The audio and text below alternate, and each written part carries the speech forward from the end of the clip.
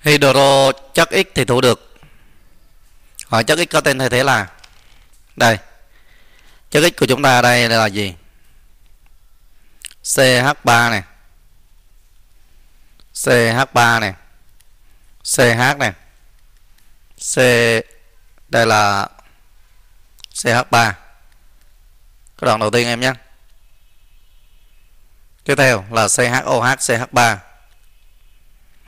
CHOH CH3 rồi, người ta kêu là hydro hóa thì thu được thằng này, tức là đây là sản phẩm.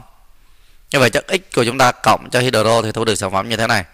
Hỏi x là thằng nào? Thì đây bằng thấy như thế này nè, đây là anh quân bậc 2 mà để cộng ra thằng này thì nó có thể là ceton chúng ta nhìn vào trong bốn nó bán nó vàng ngon này và vàng ceton này. Như vậy x của chúng ta chắc chắn ở đây là ceton rồi.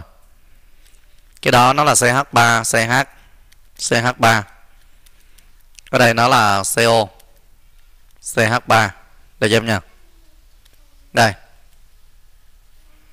Thằng thằng này có tên là ceton ceton này.